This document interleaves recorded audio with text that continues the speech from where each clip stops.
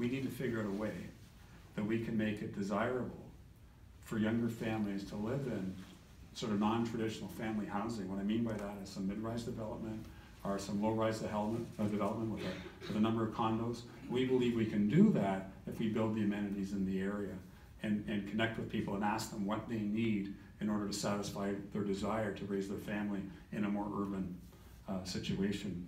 Um, that's an opportunity for us.